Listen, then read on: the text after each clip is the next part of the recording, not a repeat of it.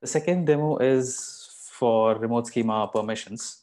And this is a huge feature where you can kind of have the Hasura authorization system for remote schemas as well. So if you're using remote schemas, you would know that there isn't any uh, role-based remote schemas or you don't kind of use any X-Hasura session variables and so on to do authorization over your remote schemas.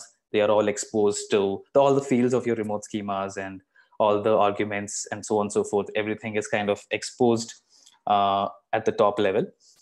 So we'll see kind of like how you can start enforcing permissions on your remote schemas as well.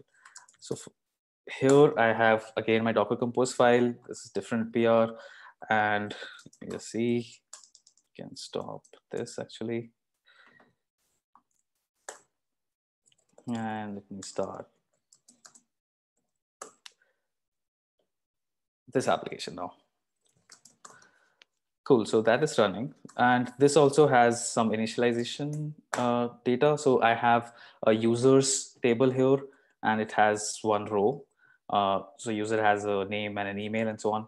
So I'm just going to populate that. Use PSQL for this and init.sql, right? Uh, so if I come back, uh, now I have a console running locally here. 2002, I guess.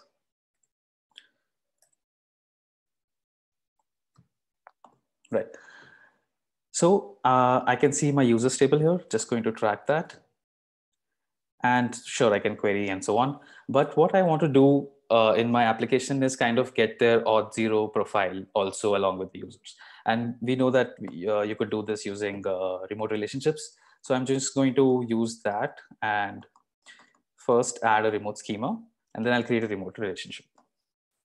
So let's call this Auth0 schema. Let's add the URL for the remote schema and add the remote schema.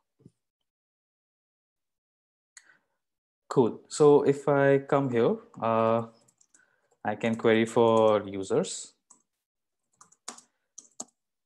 ID, name, and email but I don't have a, a Auth0 profile yet because I didn't create a remote relationship. Quickly go and create that from the relationships page. Let's call this Auth0 profile.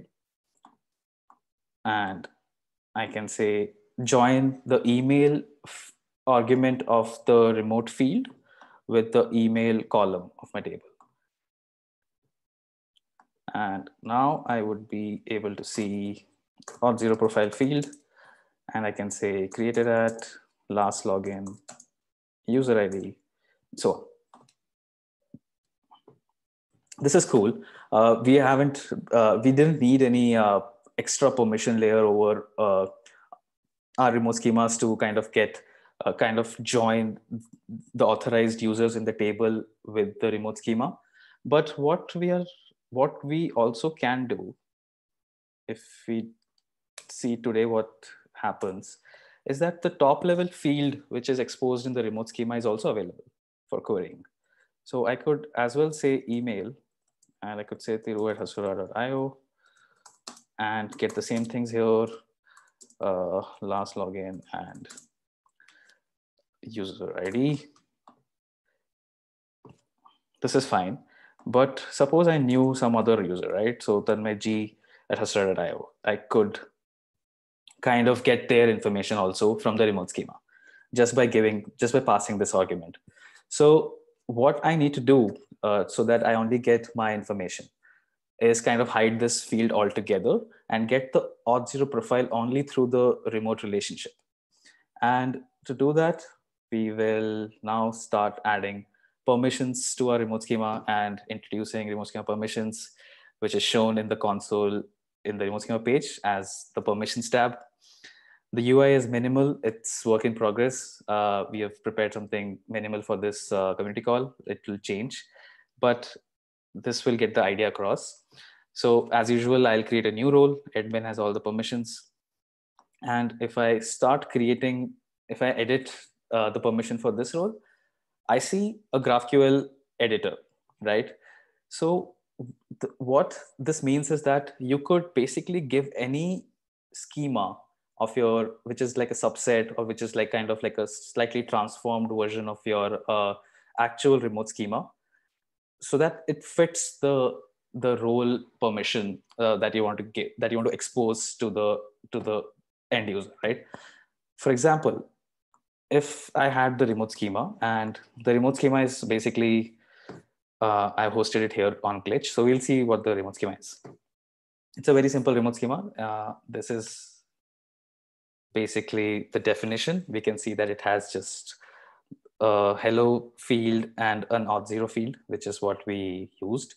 But what I'm going to do is hide the Auth0 field from the top level for the user role. So I can just type query and say, I only want to give hello string and nothing else, right? So this is kind of like a subset of this schema.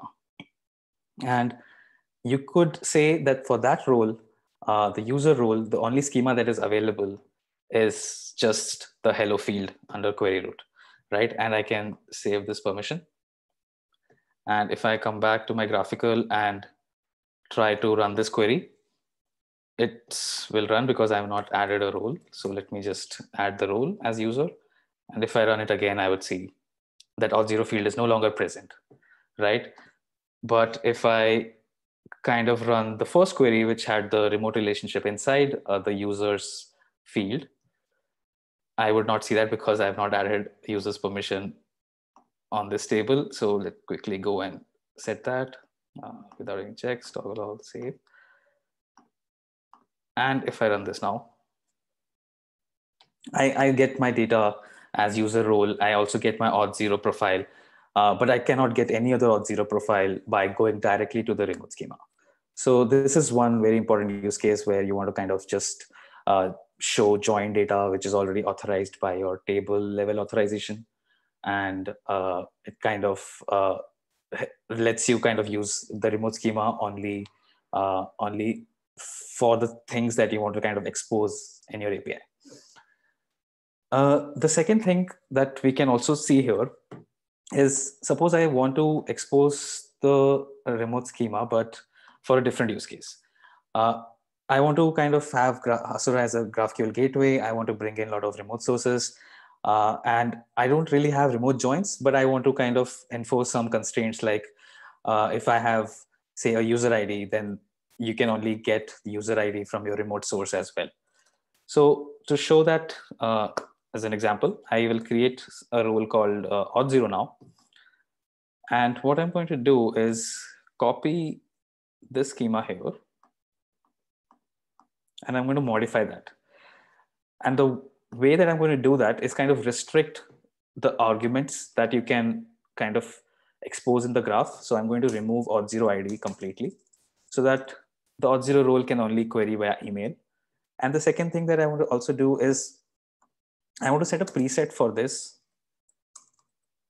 And the preset is basically coming from a session variable. So you can say x user ID right? So this is kind of the graph that we want to expose to the Auth0 uh, role. You have uh, the Auth0 field with fewer uh, arguments. And also the email field has a preset, which is X-Hasura user ID, right? Uh, to make it more semantically meaningful, let's call it X-Hasura email, right? And the rest of the graph is here. You could kind of hide the, the fields from this type if you wanted if you didn't want to show kind of like uh, the picture or something you could do that as well so we have created the Auth0 role now and if i just change that to Auth0 role and start querying again i can see Auth0, but i won't see any so i can't see any arguments here for example if i open export uh, Explorer, I can't see any arguments that I can give here. That's because there was only one argument called email, and that also has been preset. And let me just get the usual things, user ID, email, ID, uh, last login, and so on. And if I run this, this would throw an error, uh, which is saying that X-Hasura email was expected. So let me just give that.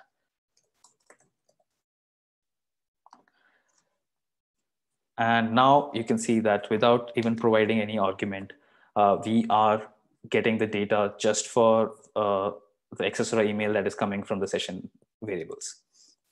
So this is the second powerful uh, part of remote schema permissions. The first thing was that you could kind of hide all the fields and only show a subset of the remote schema graph. And the second part is that you can add constraints uh, via presets uh, like accessor, which can use accessor variables, which can use static values and so on. It can have complicated input object types where some fields of the input object type are kind of preset, some other fields are not. So you can query it from the uh, from the client. Uh, but at runtime, the other in, other fields would be injected with the session variable and so on. So that's uh, that's basically remote schema permissions allows you uh, to kind of add lots of lots of remote schemas and then do role based schemas on that. Uh, yes, so this was the demo. Uh,